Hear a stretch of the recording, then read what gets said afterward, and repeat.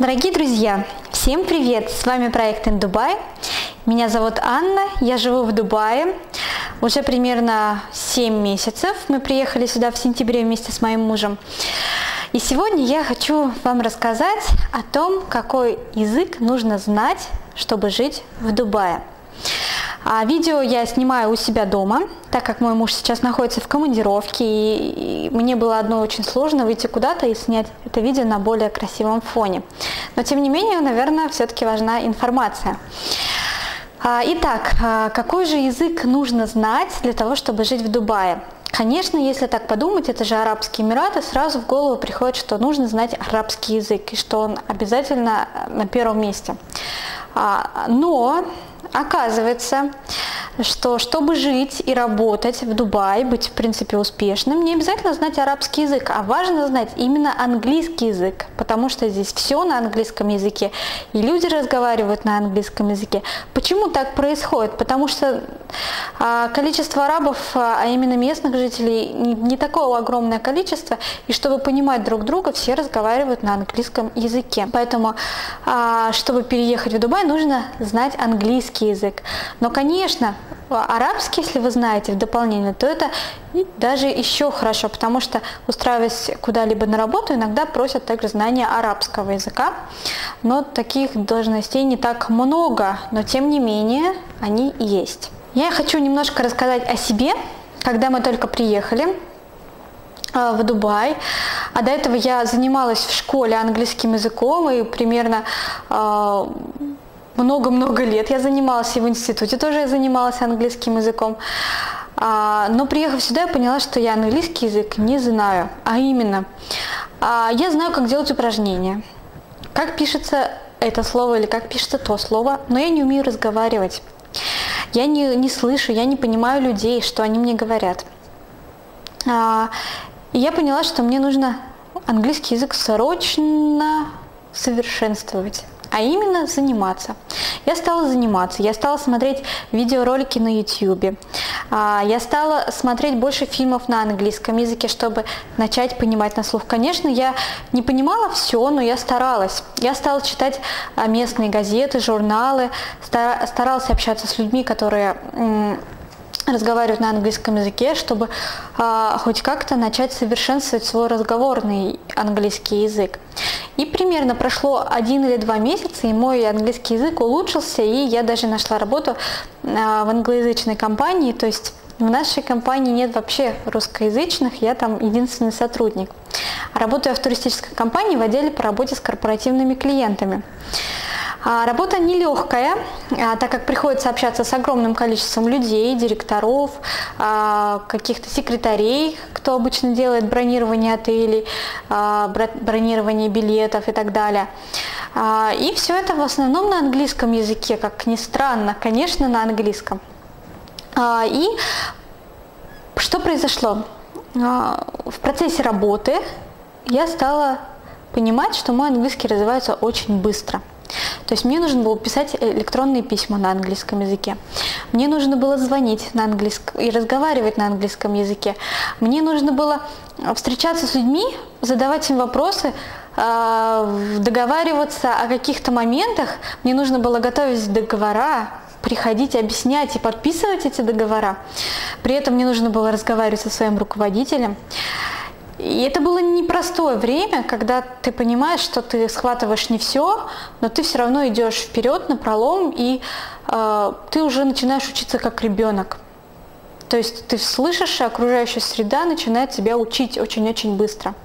Но при этом, конечно, я продолжала заниматься дома, я продолжала смотреть различные видео, курсы в интернете. Мне, кстати, очень помог курс «Полиглот». Э, он есть тоже в интернете у нас в группе ВКонтакте. А, также э, я читала газеты, журналы, смотрела различные фильмы на английском языке. А, и так, в общем, продолжала заниматься. Меня выручил мой муж, а, потому что он знал английский язык намного лучше, чем я. И, соответственно, мне было за кого спрятаться при решении наших бытовых вопросов. Он снимал для нас квартиру, он занимался всем-всем-всем, потому что я была как ничего не знаю, ничего не понимаю, и вообще очень-очень тяжелое чувство. Особенно, когда ищешь работу, тебя приглашают на собеседование, и ты чувствуешь себя просто идиотом. Почему? Потому что а, ты вроде умный человек, у тебя есть знания, у тебя есть опыт, но так как ты не можешь об этом опыте рассказать, не можешь им доказать а, о том, что у тебя этот опыт есть, эти навыки и знания есть, ты выглядишь как ребенок, который разговаривает на ломаном языке. И ну вот вы сами представьте, вот к нам в Россию приезжают люди, которые не разговаривают толком на русском языке, разговаривают на ломаном языке. Что вы о них думаете? Вы думаете, что эти люди умные? А на самом деле может быть, они действительно очень умные люди, просто они не могут через язык передать свои знания и опыт. И это меня очень сильно ломало.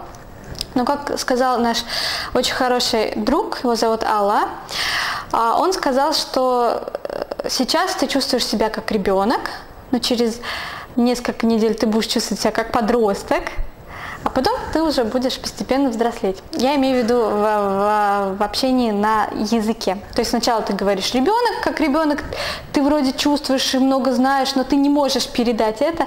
Ты можешь говорить, а, смотри, это зеленый, идем туда, это хорошо и так далее. А, и потом постепенно, постепенно ты начинаешь все-таки стараться выразить свое мнение, свои мысли на английском языке. Конечно, если вы английский язык знаете, то это очень здорово, потому что а, если не знать английский, здесь все-таки сложнее. Помимо того, что надо решать бытовые вопросы, надо еще и английский язык учить. То есть это довольно-таки очень сложно, или как по-английски говорят, это челлендж большой, очень большой челлендж, то есть вызов в своей судьбе. Многие спрашивают, я не знаю английского языка, и можно ли вообще найти работу в Дубае без знания английского языка? Я хочу сказать, что это можно, но это будет либо русскоязычная компания, где руководитель э, русский, либо он из стран СНГ, а, либо это возможно, что это работа в туристической компании, с работа только с русскоязычным населением, с русскоязычными клиентами или туристами. Либо же это может быть а, работа, где не нужно вообще разговаривать, там это мыть посуду, делать то-то, делать то-то, убираться там и так далее. То есть вообще не нужно разговаривать, соответственно, знания никакого языка вообще не требуется. Но хочу сказать, что э, это не совсем хорошо. То есть, э, во-первых, если вы попадаете в русскоязычную компанию, то э, шансы, что вы выучите английский язык, очень маленькие, потому что вам уже это становится не нужно, и вы а, не практикуетесь. Я знаю многих людей, которые здесь живут по 3, по 5 лет и не знают английского языка. Они могут на бытовом уровне общаться на английском языке, но если это уже касается бизнеса или работы, то они уже все выпадают, они не знают английского языка.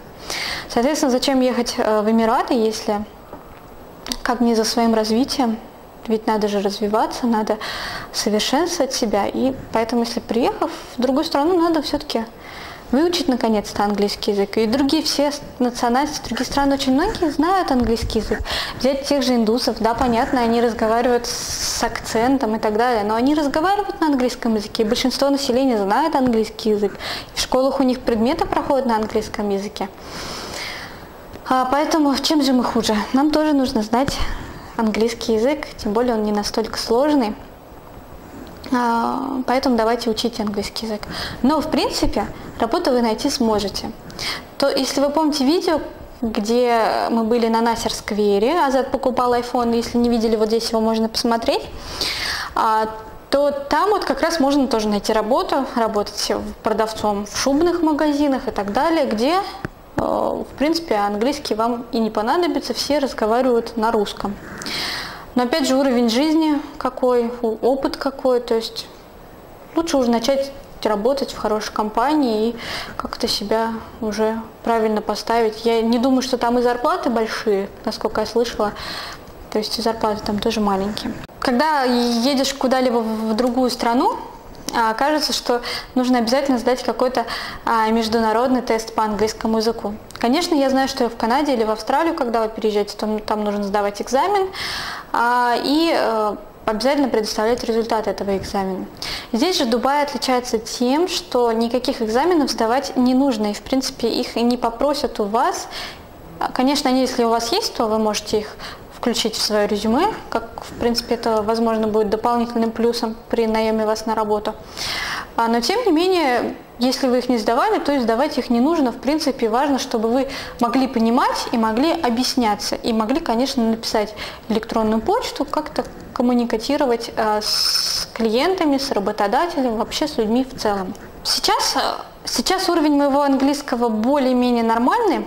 А, за то время, пока мой муж работал в русскоязычной компании, я, в принципе, его догнала. Он даже сам говорит, что мой уровень остался на том же месте, а ты выросла намного, потому что в своей работе мне нужно было очень много общаться, и э, я очень быстро-быстро училась и поднималась. Но, тем не менее, я немножко недовольна своим английским, потому что я э, не совсем хорошо знаю грамматику, делаю иногда ошибки, у меня не слишком большой словарный запас. И, может быть, некоторые слова я не употребляю а, в правильном контексте, контексте. А, и возможно, что у меня акцент не очень хороший, то есть хотелось бы очень много моментов улучшить. И, конечно, хочется уже поднять свой английский язык на более высокий уровень.